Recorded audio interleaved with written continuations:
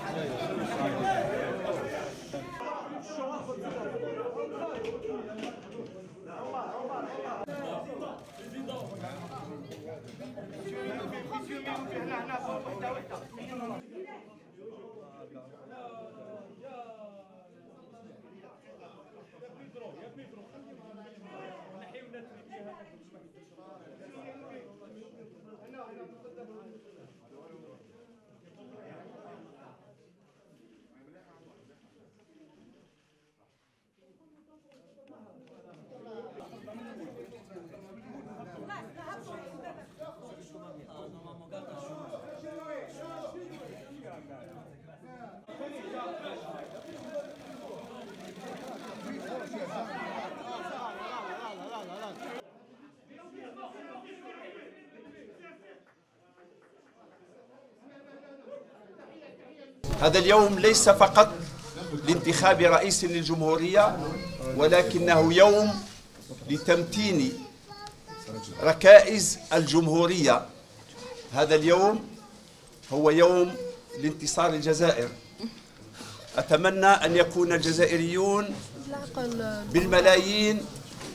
لأن هذا اليوم هو اليوم الذي يحققون فيه فيه سلطتهم الحقيقية